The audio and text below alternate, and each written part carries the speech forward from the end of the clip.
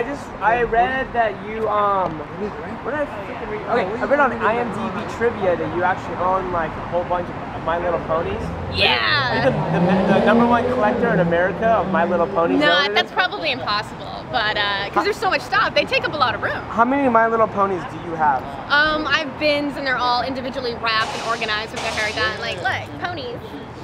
I like Whoa, ponies. whoa, whoa, there's ponies there? There's ponies on my thing. Isn't that cute? That's it? And Oh, mace. yeah. Because it's Hollywood. You need to have mace when you're a chick. I can't Oh, believe I haven't used this yet. You got the mace. Oh, well, God maybe I have. You've never used this, so you know Uh, how to yeah, use never use that if anyone asks. Um, what's your favorite My Little Pony? My favorite? That's really hard because it kind of changes with your emotion. Is that weird? Yeah, it's kind of weird. That is kind of weird, Have you ever right? owned uh, a pony? I'm not a real like one. riding- You like riding horses or no? I, I used to ride horses in, in high school. Yeah. Did you ever dress up as a pony? That was my Halloween costume last year. Oh my gosh. I was a unicorn.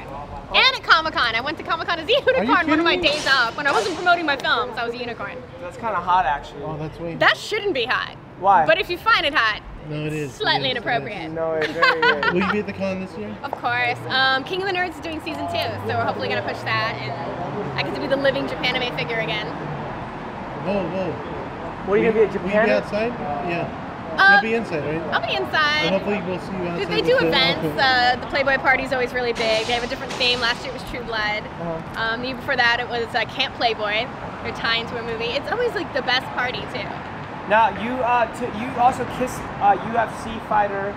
He put his lips on Oh. and he, he tattooed his, your lips onto his body. Yeah. Who was the, who was the fighter? Um, he was just on uh, Ricco Rodriguez, who just got a DUI. Yeah, his lips are permanently, my lips are permanently on his ass. it's on his ass. Yeah, it's on his ass. So you kissed it. No, no, I kissed it on a piece of paper, and then the tattoo artist put that on there.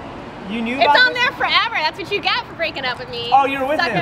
Oh. Sucker. Now every other Yeah. chick's gonna look at my lips on your ass. How'd that DUI go? Wet reckless, I saw. All right. TMZ. Whoa. Yeah.